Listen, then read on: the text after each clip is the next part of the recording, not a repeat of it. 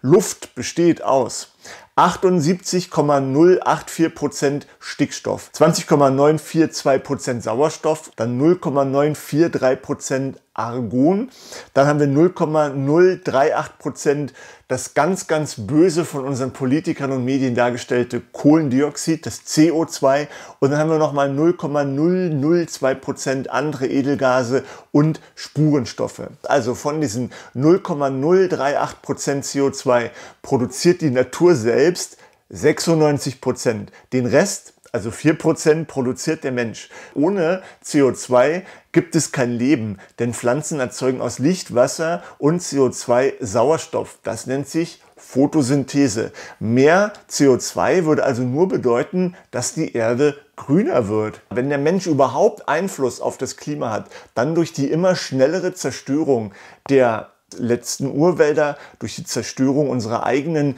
CO2 in Sauerstoff umwandelnden Wälder für die Errichtung nicht recycelbarer, Vögel- und Insekten schreddernder Windräder, das wollen die Grünen wahrscheinlich gerade gar nicht hören, durch die Vergiftung und Vermüllung der Meere, durch die wenigen Supertanker, die mehr Dreck in die Ozeane und in die Luft pumpen als alle Autos der Welt zusammen. Das möchte sicherlich der Habeck nicht so gerne hören, weil er ja jetzt gerade auf diese Art von Energieversorgung auch mitsetzt.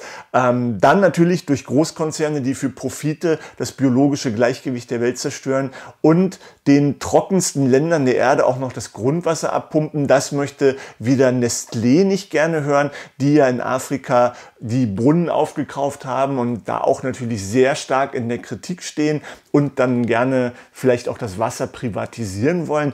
Weiterhin durch Fracking, durch die profitorientierte Wegwerfindustrie, die nur noch Produkte mit eingebauten Verfallsdatum herstellt. Also man findet das unter dem Begriff geplante Obsoleszenz um die Kunden zu zwingen, sich ständig etwas Neues zu kaufen. Durch den Verpackungswahnsinn und die dadurch erzeugte Plastikmüllflut durch die Recyclinglüge, für die wir westlichen Länder zwar penibelst unseren Müll trennen, der dann aber nach Asien verfrachtet und dort ins Müll gekippt wird. Kurz gesagt, wenn wir aktiven Umweltschutz von denen verlangen würden, die für all das verantwortlich sind, dann wäre ich ganz bei euch. Aber das Klimamärchen, das uns erzählt wird, stimmt nicht. Denn der Weltklimarat hatte von Anfang an nur den Auftrag nachzuweisen, dass der Mensch am Klimawandel schuld ist. So steht es in seiner Gründungsakte. Und das lässt ja der Name auch schon vermuten, du gehörst an dem Intergovernmental Panel on Climate Change an. Was sollst du also bitte erforschen? Es ging dabei niemals um Wissenschaft, denn Wissenschaft ist ergebnisoffen, sondern nur darum, die einer politischen Agenda gewünschten Aussagen pseudowissenschaftlich zu belegen und alle anderen Meinungen und Forschungsergebnisse zu diskreditieren. Nachtrag, der Mensch ist nicht in der Lage, CO2 zu erzeugen. CO2 ist wie Wasser. Es ist immer im Fluss. Wird CO2 freigesetzt, kann man an dieser Stelle und in diesem Moment einen erhöhten CO2-Wert messen.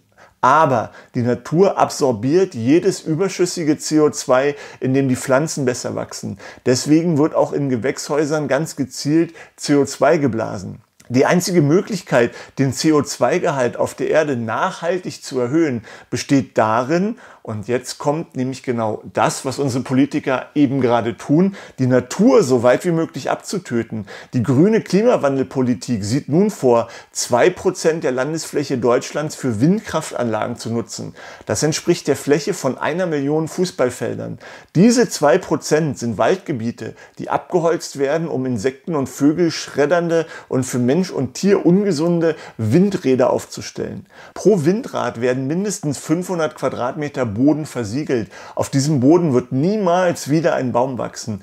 Der abgeholzte Bereich für Zufahrten und so weiter beträgt ein Vielfaches davon. Gerodeter Wald kann kein CO2 in Sauerstoff umwandeln und gerodetes und versiegeltes Land sorgt für eine Erhitzung der Luft.